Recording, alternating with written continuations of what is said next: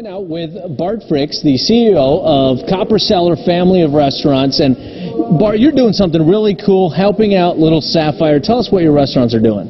Well, this week, uh, starting today, all the way through Friday, you can go by any Copper Cellar Family of Restaurants and drop off a Christmas card for her.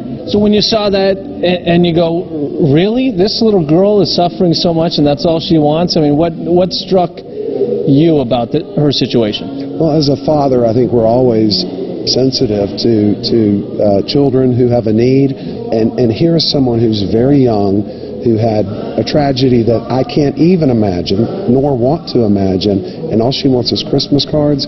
I got to thinking to myself, as many people that eat in our restaurants, as many people as we employ, wouldn't it be really cool if everyone got a Christmas card, dropped it by the restaurants, and then Monday we'll mail them off to her. And if we could do that to make her Christmas a little more special, uh, that's what East Tennessee's about. I love it. Okay, well, then, if you guys want to do that, you can stop by again at any of the Copper Cellar family of restaurants here in East Tennessee. You just bring it in. They're going to take care of the rest. They're doing this until this Friday, and then Little Safyre is going to be getting a bunch of Christmas cards from East Tennessee.